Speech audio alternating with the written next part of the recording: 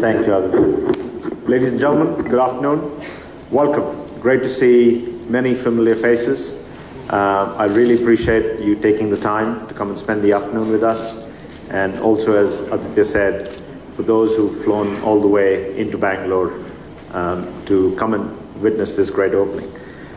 For us, it is a very special day um, with the opening of this particular hotel. It is truly the landmark that will set the hospitality scene um, on fire in this city. Uh, for us, when you look at the location, it is the number one location in the city of Bangalore.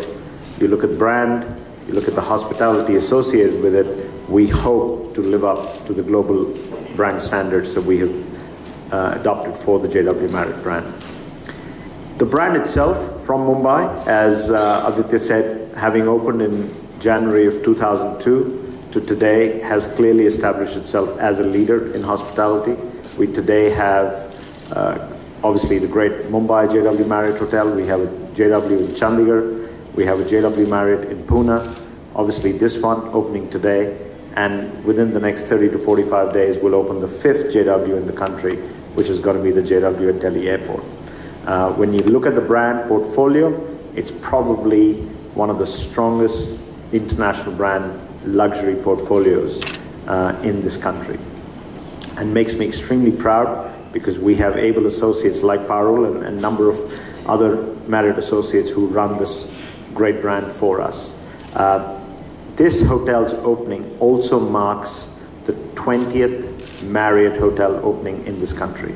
So we now have 20 operating hotels uh, in five different brands across the country with an active pipeline of another 47 hotels uh, under construction, obviously under, under different brands. Um, this year alone, we will open almost a thousand rooms in the city of Bangalore. Um, and I often get asked the question that in the downturn that India is witnessing, why are we opening hotels at this fast pace?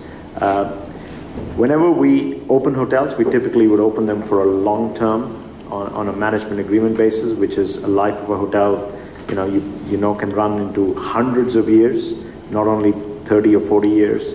And we strongly believe that this hotel would be the luxury leader for decades to come in the city of Bangalore.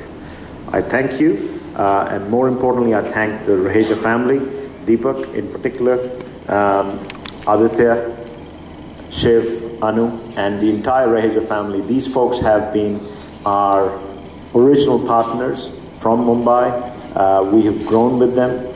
To us, a lot of our growth in India is thanks to our great partnership that we've enjoyed with the Rahejas. And from our perspective, we look forward to seeing many, many more hotels as we grow in this country, along with the Rahejas. Thank you once again for your time, and I look forward to answering any questions. Thank you.